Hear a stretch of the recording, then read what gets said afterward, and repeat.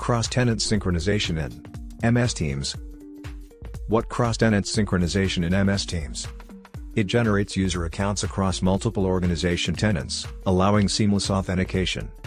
Using automation, cross-tenant synchronization in the MS Teams can minimize the likelihood of security errors and administrative errors that may level up during multiple tenant management. How to enable the cross-tenant synchronization option in MS Teams?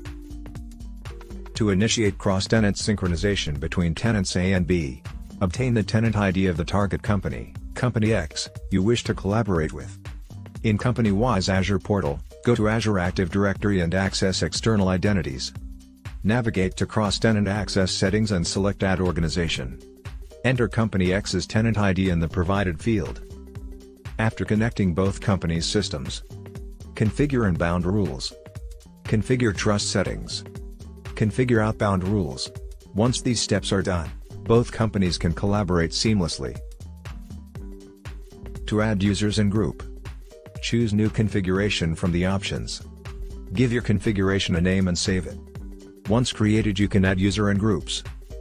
To sync users, choose Provision on Demand in the cross-tenant setup. Select the user to synchronize. The user's account will be created in the target tenant. Thank you. To know more visit www.whizlabs.com.